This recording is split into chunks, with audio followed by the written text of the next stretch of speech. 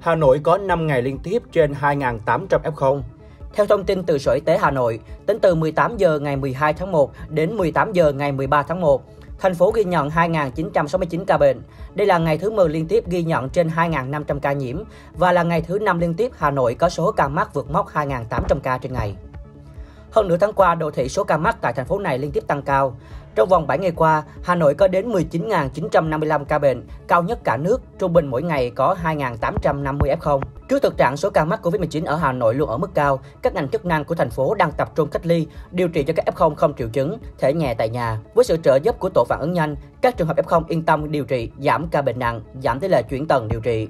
Trong khi đó, sau 6 ngày ghi nhận số ca mắc mới dưới ngưỡng 500 trường hợp, 3 ngày gần đây, thành phố Hồ Chí Minh ghi nhận số lượng F0 tăng nhẹ trở lại. Cụ thể vào ngày 11 tháng 1 có 558 F0, ngày 12 tháng 1 có 696 F0 và ngày 13 tháng 1 có 701 F0.